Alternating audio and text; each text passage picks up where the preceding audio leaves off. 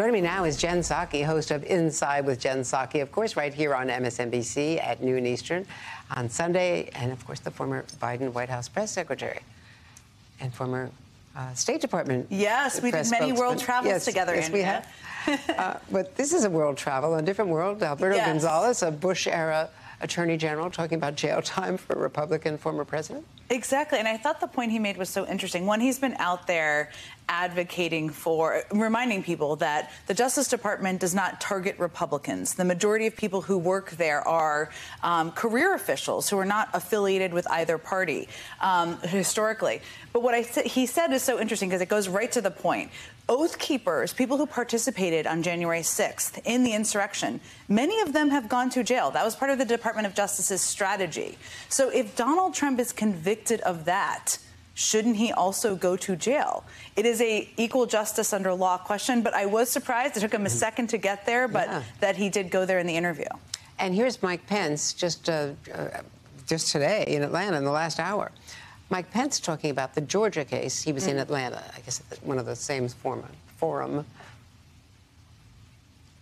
The first principles are that no one's above the law, but the former president and uh, all of those involved are entitled to the presumption of innocence that every American is entitled to. That being said, uh, I do think it's important, ir- irrespective of that case or other cases going forward, that we speak the truth to the American people. That, that I, I had no right to overturn the election, uh, and the Georgia election was not stolen. The Georgia election was not stolen, and I had no right to overturn the law. So he's threading that needle. And that's his, he's now consistently framing it that way leading into the debate. Which is so interesting. And also, uh, Ron DeSantis also came to the brink of saying uh, just last week that the election was not, was legitimately won by Joe Biden. That's a paraphrase.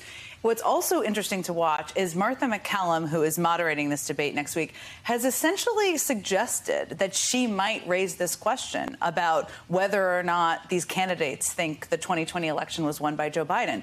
That would be very interesting if that happens. We will see, given that has been the majority of Republican candidates and Republican leaders have been saying for years now that it wasn't. Um, so that could be a real shift.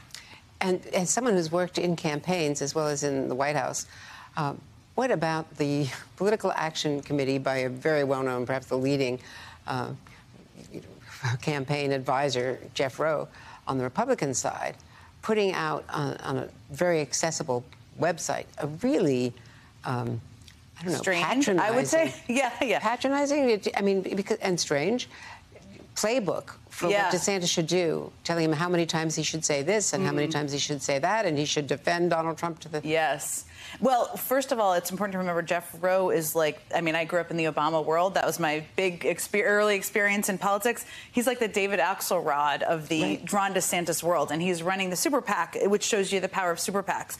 And his political advice to Ron DeSantis is to essentially say, he has exact quotes in this memo Donald Trump is weak we should lay off him and, and not, attack him from this stage, which is a questionable strategy. But also, it's suggesting that um, Donald Trump shouldn't be a part of the discussion. That these candidates who are trying to defeat him shouldn't talk about his legal issues. The fact that this the frontrunner has been indicted four times that shouldn't be on the table. There's a lot of things that are questionable about that. It also in the memo su- su- advises Ron DeSantis to go after Vivek Ramaswamy, which tells you a lot about who they think the biggest threat is to them. At Which is in time. really interesting because his polls have been creeping up as well.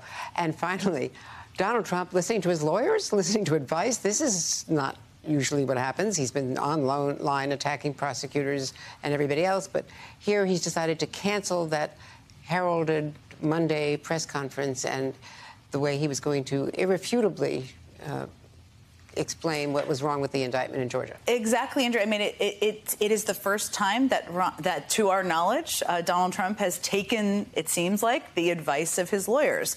It could tell you a lot of things, including that maybe he's concerned about the seriousness of these legal issues and recognizes that him going out and speaking publicly and saying things in a forum like that could hurt him uh, in the courtroom. Well, Jen, I want to hear more and more from you, but I'll have to watch on Sunday, Sunday at noon. And be sure to all of you join, uh, tune in Sunday at noon for Inside with Jen Psaki right here on MSNBC.